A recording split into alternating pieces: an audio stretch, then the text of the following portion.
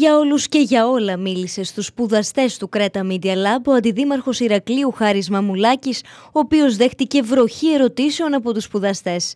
Μάλιστα οι απαντήσεις του αντιδημάρχου έβγαλαν και ειδήσεις, καθώς κλήθηκε να απαντήσει για την πορεία της δύναμης πολιτών και της Δημοτικής Αρχής, καθώς και για την μετακίνησή του στον τομέα της καθαριότητας από την Αντιδημαρχία Τεχνικών Έργων που βρισκόταν στην αρχή της θητείας του.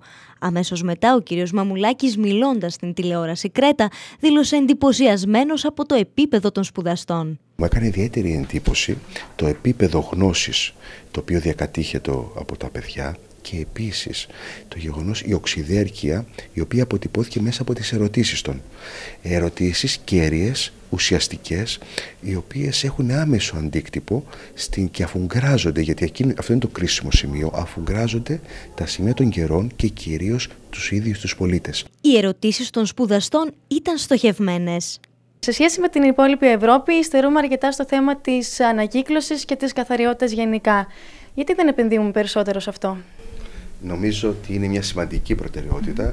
Η ανακύκλωση είναι ένας δείκτης πολιτισμού, ένας δείκτης παιδείας που οφείλουμε πραγματικά να δώσουμε έμφαση και να βελτιώσουμε και τα ποσοστά αλλά και τις ποσότητες του ανακτώμενου ανακυκλώμενου προϊόντος που παράγεται καθημερινά στην πόλη μας, στο νησί μας, στη χώρα μας.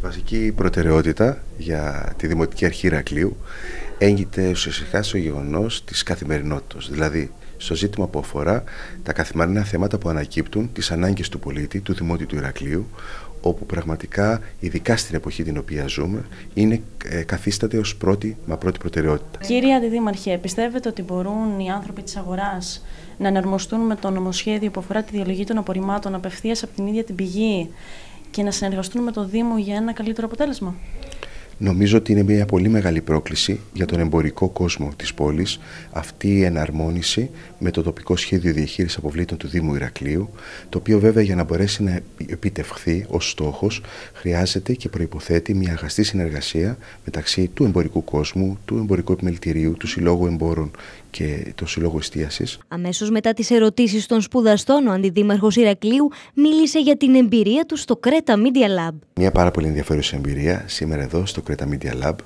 με κολαπτώμενους συναδέλφους σας, με παιδιά με πολύ μεγάλη όρεξη και ζήλο, ένας θύλακας θα έλεγα δημοσιογραφίας, ο οποίος κολάπτεται εδώ στην πόλη του Ηρακλείου και νομίζω ότι έχει να προσδώσει πάρα πολλά στο εγγύς μέλλον.